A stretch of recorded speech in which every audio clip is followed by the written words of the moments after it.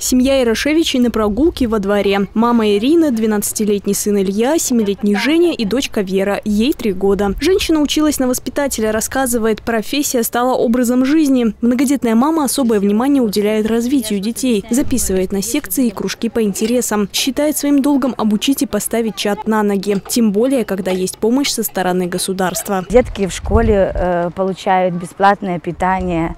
Ребенок младший получает 50% питания со скидкой в садике.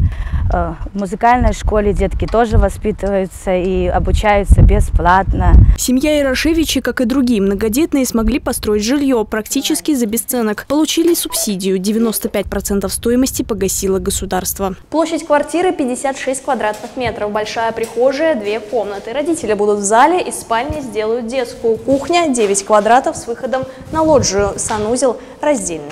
С января расширили список услуг, на которые можно досрочно потратить материнский капитал. Многодетные семьи могут направить средства на медицинские услуги, улучшение жилищных условий и оплату образования. Начиная с 1 августа 2020 года мы будем выплачивать по государственной программе э, материальную помощь для подготовки детей к школе.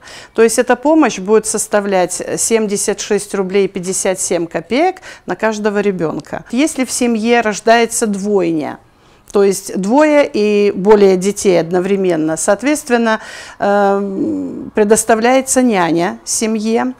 Э, потом, значит, данная семья имеет право на бесплатное обеспечение продуктами питания первых двух лет жизни. Отдельное внимание властей детям до трех лет. С 1 августа очередное повышение пособий. Ежемесячная выплата на первенца увеличится до 427 рублей, на второго и последующих до 488, на ребенка-инвалида до 550 рублей. Эти выплаты будут действовать до 31 января. Анастасия Шевцова, Дмитрий Шевцов, Бобруйск, 360.